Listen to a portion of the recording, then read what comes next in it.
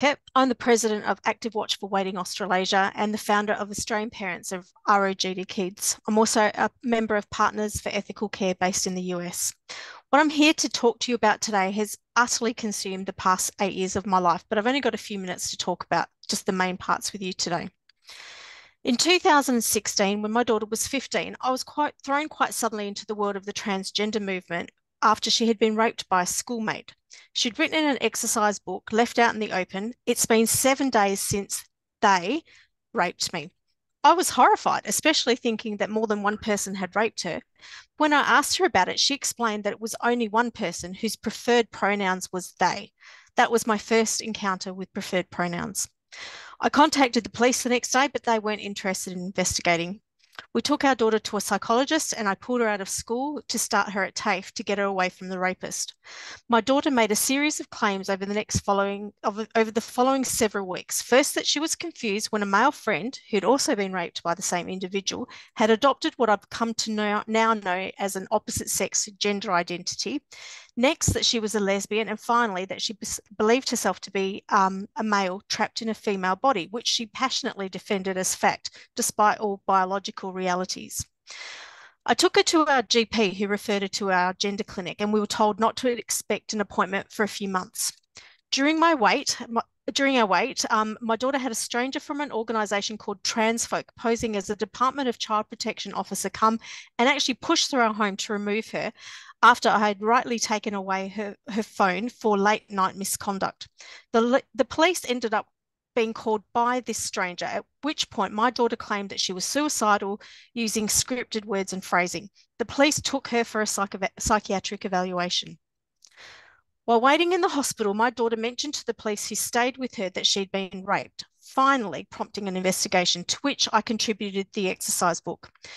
The psychiatrist that she saw firstly told us that she was not, in fact, suicidal, but to respect her wishes because it's better to have a live son than a dead daughter. The first, but not the last time that I've heard this all too common threat.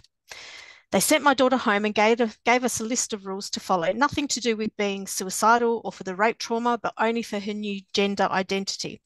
No taking away devices, no punishments for anything, and we were had to remove all childhood photos from our walls at that as that person was said now to be dead. A woman was then sent to our home from where I'm not actually sure, um, and actually interrogated us for hours and actually confirmed to our daughter that we were terrible abusive parents. Her only evidence of this that we hadn't taken her childhood photos down off our walls. Our first appointment at the gender clinic, the nurse gave my daughter a form, which I later learned was a consent form. She explained the gender, the gender clinic process really quickly and skimmed over the very basic medical risks and then suggested that she starts on puberty blockers all within 25 minutes. When I declined them, the nurse said, well, maybe just some testosterone. I declined that again. So the nurse advised my daughter to wait and go to the adult gender clinic when she turned 18. At later appointments, the head of psychiatry at the clinic insisted that my daughter's rape trauma had nothing to do with her new gender identity. My daughter was receiving no help for her trauma. As my work history includes working in medical settings, both with Western medicine and with natural therapies, what stunned me the most at this appointment was that from the moment my daughter said she was transgender, it was completely accepted as truth by the treating professionals. There was no medical investigation, there was no explanation of what, there was no exploring of what had caused her very sudden and complete change in personality. I wondered, and I still wonder, how vulnerable youth are able to access medication and surgery, both which have lifelong side effects, without any exploration whatsoever.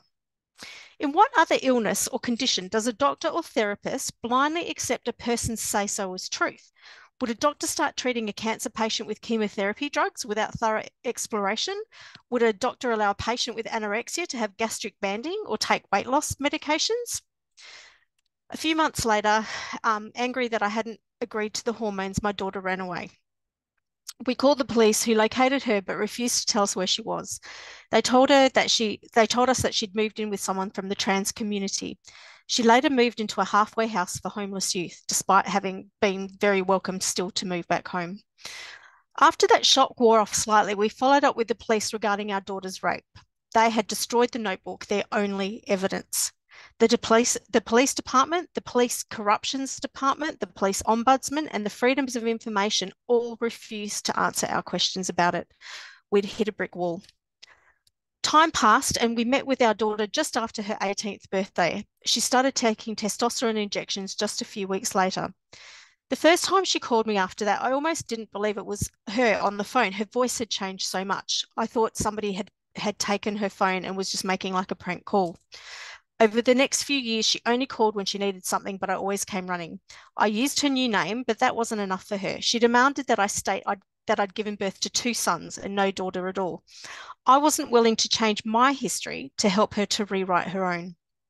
A GoFundMe page my daughter had set up to pay for the removal of her breasts listed her surgeon's name, so I decided to contact him to explain that she was struggling with untreated rape trauma and in extreme emotional distress, We'd learnt that she'd been in and out of high security mental health facilities throughout the, the previous year. Although he seemed compassionate at the time, he actually ended up giving our daughter all of our email communication.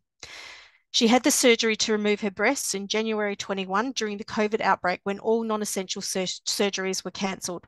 Although she got what she wanted, she was furious with me for interfering, and so she cut ties completely. Since this began, I've spent all of my time reading and researching. I found a I found a group called Parents of ROGD Kids who asked me to start a parent support group in Australia, which I did. Which I did. Our numbers have grown very quickly.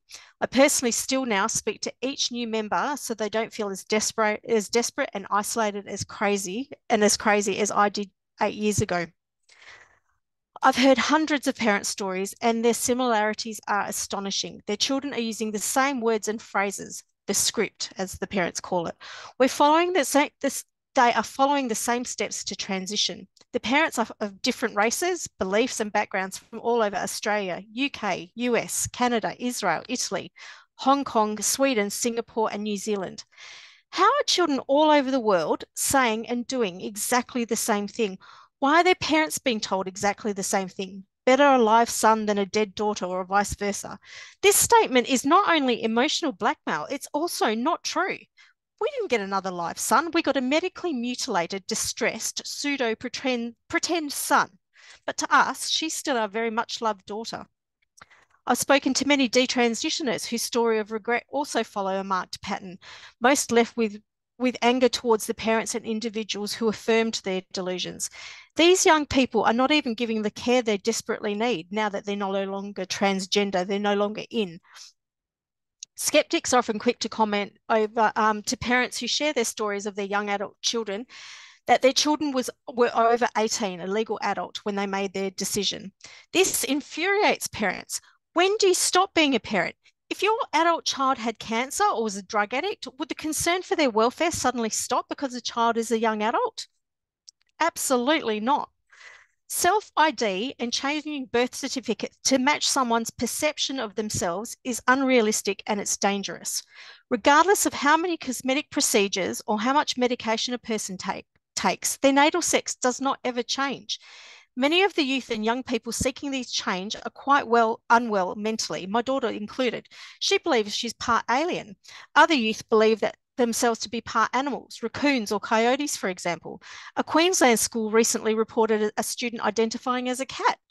Will these other non-human forms of self-identification be legislated also?